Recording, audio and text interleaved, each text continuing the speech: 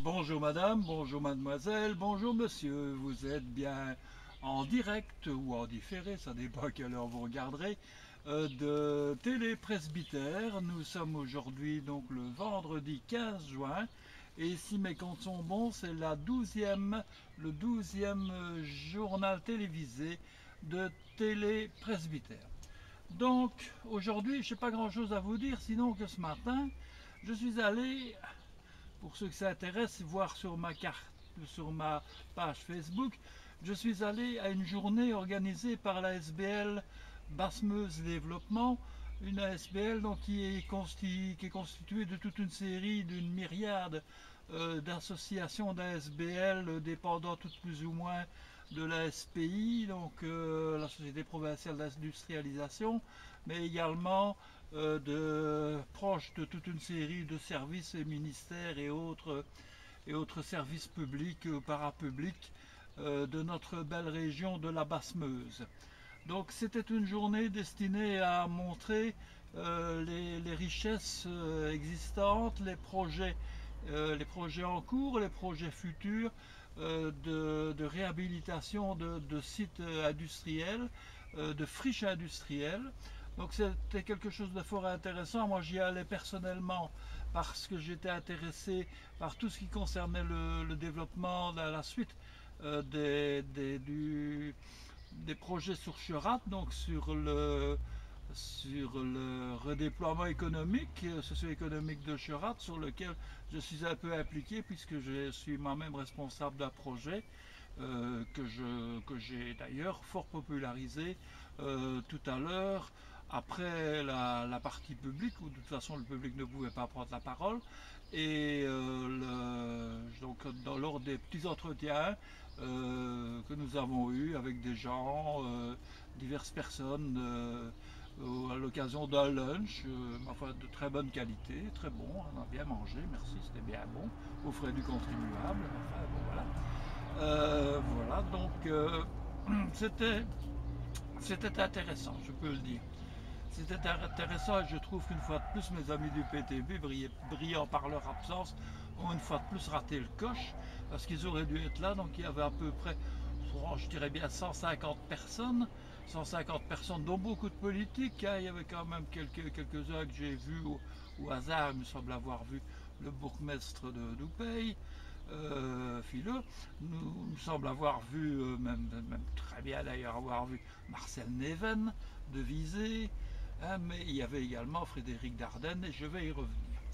Donc, euh, nous avons eu là de, de, très bonnes rencontres et je suis très très heureux parce que Quelque part, j'allais là avec une idée de parler de Cherat, un petit peu voir ce qui se passait pour Oupey, euh, si on allait parler du trilogie Peur, et également des entreprises Sartel à Outé à Saint-Siméon.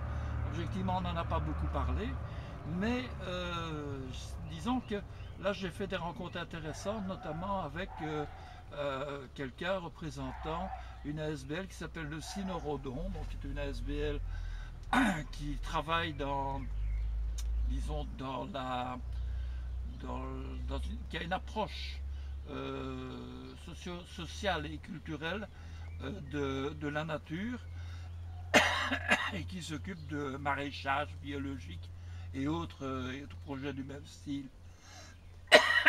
C'est pas fini, moi, la bronchite. Donc, le, là, j'ai rencontré une personne très intéressante de cette association et les grands esprits se rencontrent. Nous, avons un petit peu élaboré, euh, nous sommes allés un peu plus loin sur un, projet qui me trottait dans la tête déjà depuis un certain temps.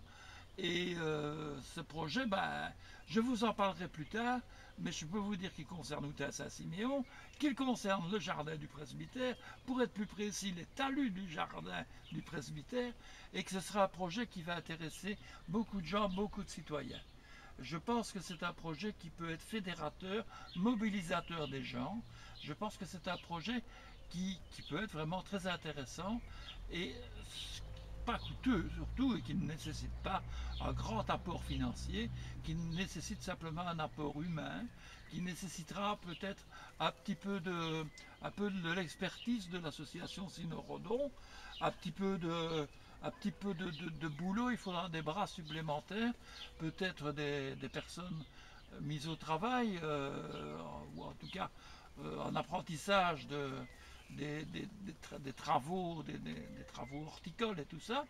Donc ça peut être très intéressant et très intéressant pour tout le monde, puisque ne le cachons pas, l'idée c'est de faire euh, ces, espèces de, pas de potager partagé, mais euh, d'incroyables comestibles, c'est-à-dire euh, offrir aux gens, suivant les saisons, des légumes que les gens peuvent se servir peuvent se servir.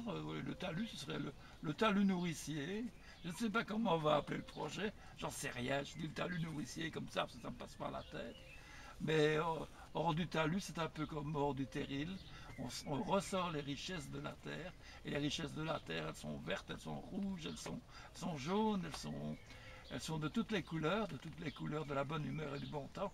Et euh, bon, ben là, on va pouvoir peut-être faire un projet qui va marquer très fort ici euh, les opinions, l'opinion, euh, enfin tout le monde a, a outé à sur le territoire du pays.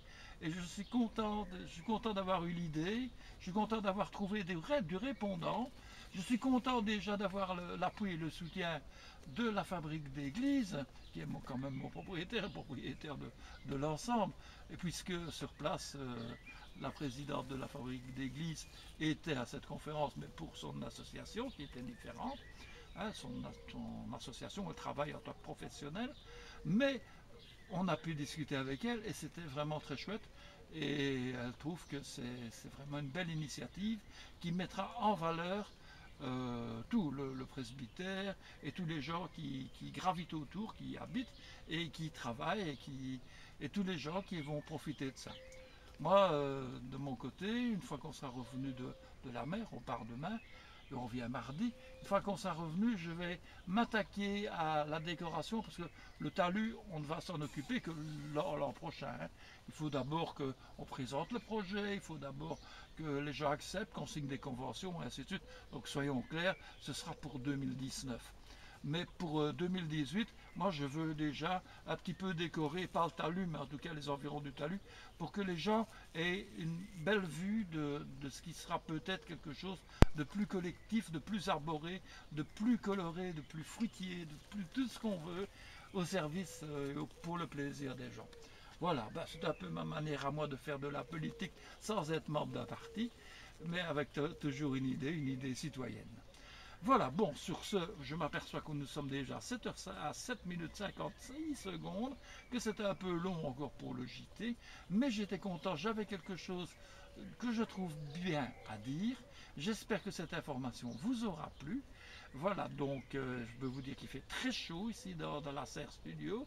Le soleil euh, tape, mais c'est la fin de journée maintenant. Ouf, ouf, ouf. Je vais pouvoir peut-être un petit peu passer ma débroussailleuse dans le talus mais je crois qu'il fait encore un peu chaud pour l'instant. Mais sinon, je vais travailler un petit peu au jardin, je vais planter par-ci par-là mes petits légumes, qui ne seront pas encore d'incroyables comestibles, mais qui seront des comestibles euh, formidables quand même. Voilà, donc mes petits amis, je vous souhaite une bonne soirée. Ah oui, j'ai oublié ce soir, il y a euh, Portugal-Espagne ou Espagne-Portugal, comme on veut. Euh, crois que je vais quand même regarder ça aussi, malgré tout, parce que je ne suis pas un fan de foot, mais de temps en temps, il y a des matchs qu'on a envie de voir. Voilà. Bon foot, euh, bonne soirée, euh, bon amusement, bon week-end. J'espère enregistrer un JT demain depuis la mer, mais ce n'est pas encore garanti.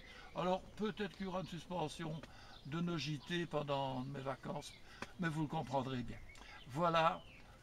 Bonne soirée, mesdames, mesdemoiselles et messieurs.